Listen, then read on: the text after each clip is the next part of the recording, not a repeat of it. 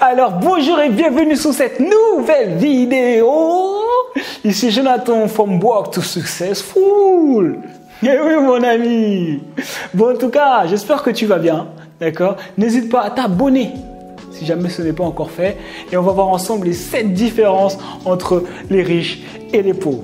Donc, juste petite euh, disclaimer, on va dire. Quand je dis riche, pauvre, ça ne veut pas dire que les riches sont méchants et euh, ou euh, les pauvres gentils ou vice versa, d'accord? Riche et pauvre, c'est juste des habitudes qu'on a vues qui provoquent ces résultats.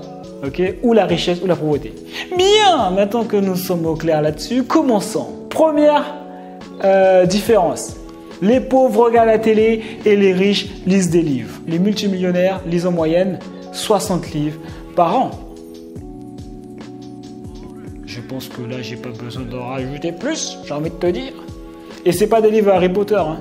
c'est des livres business ou dans leur expertise, etc.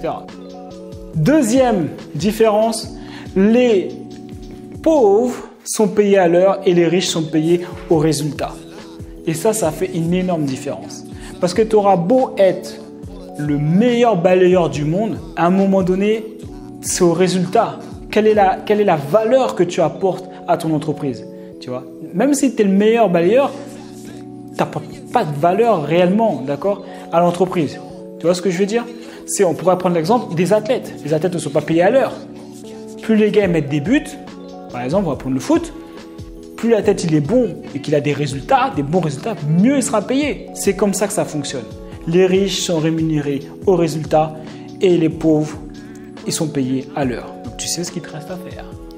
Troisième différence, les pauvres accusent les autres de leur échec ou de leur situation, les riches assument à 100% tout ce qui se passe dans leur vie. Donc en général, ils vont dire ouais, c'est la faute du gouvernement, c'est de la faute euh, de mon voisin, c'est de la faute euh, de ma femme, de mon, mari, c'est euh, la faute de tout le monde, sauf moi, évidemment.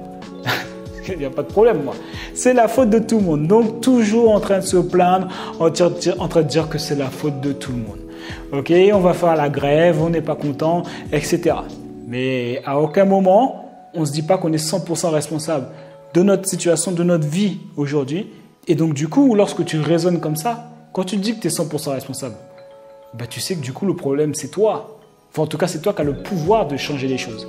Mais quand c'est toujours les autres, le, le problème, comment tu fais pour changer les autres? Tu peux pas, en fait. Et donc ça, c'est la troisième différence entre les riches et les pauvres. Quatrième différence, les pauvres veulent toujours épargner.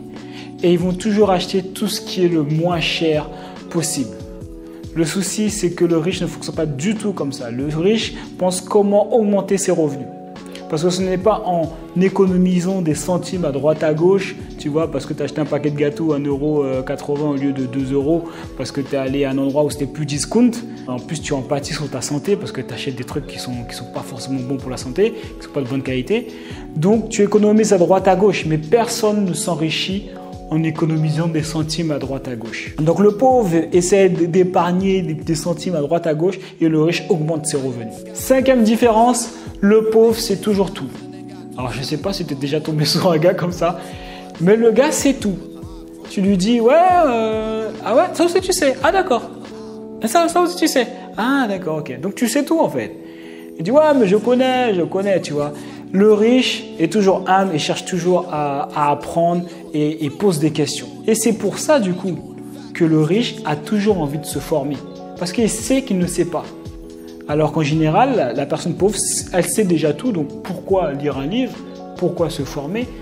Elle sait déjà en fait. Donc voilà l'une des différences encore qu'il y a entre le riche et le pauvre. Sixième différence entre le pauvre et le riche, le riche pense que le manque d'argent est la racine du mal, Ou voit l'argent de manière neutre. Le pauvre voit l'argent comme la racine du mal. Alors que l'on voit bien, si jamais on essaie d'être factuel, On voit bien que les endroits qui sont les plus, euh, comment en difficulté, c'est les endroits où il y a un manque d'argent. Un endroit où il y a le manque d'argent, en général, il y a la drogue, etc. C'est souvent mal famé. Euh, comme tu veux, d'accord Mais un endroit où il y a manque d'argent, eh ben, c'est là où il y a la racine du mal. Hein, c'est là que ça va commencer à partir en sucette, quoi. Donc l'argent est vu par le riche comme un outil. Tu vois, il est neutre tout simplement. D'accord C'est comme un couteau. De la même manière que le couteau, tu peux utiliser pour euh, couper un morceau de viande, de la même manière, tu peux l'utiliser pour tuer quelqu'un.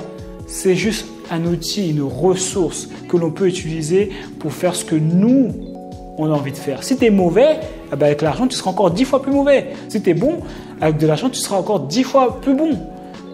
C'est aussi simple que ça. Voilà la différence dans la manière de penser entre les riches et les pauvres. Et septième différence entre le riche et le pauvre, le pauvre pense que l'argent est un événement et le riche sait que c'est une succession d'actions qui mènent à la richesse. Ok? Par exemple, le pauvre va se dire oui, je vais jouer au loto, je vais jouer au PMU, et après je vais acheter ma, maison, après je vais acheter, je vais voyager, etc. Une fois que j'aurai gagné au loto. Le riche dit je vais travailler dur pour pouvoir m'enrichir et pouvoir me payer ma maison et pouvoir me payer mes voyages. Donc la différence claire sur cette dernière différence entre le riche et le pauvre, c'est que le riche décide de devenir riche et le pauvre espère par hasard que l'argent tombe du ciel. Donc voilà, c'est tout pour cette vidéo. N'hésite pas à me dire ce que tu en penses en commentaire. Il n'y a pas de problème. Je peux comprendre que ça soit peut-être des fois difficile à entendre. Il n'y a aucun souci. C'est libre d'expression. On peut en discuter. Il n'y a aucun problème. Si jamais tu veux créer ton business en ligne, tu es libre de cliquer sur le lien juste en dessous, d'accord? Tu vas écrire ton mail et je vais t'envoyer une formation offerte avec 25 idées de business rentable, comment créer une offre sans argent, comment créer ton tunnel de vente, comment fixer ton prix? C'est un contenu de ouf, d'accord? Il y a au moins 6 vidéos. Après avoir fait ces 6 vidéos, tu pourras commencer à créer ton business en ligne. D'ici là, les gars, on se voit dans une prochaine vidéo. On reste déterminé, on lâche rien.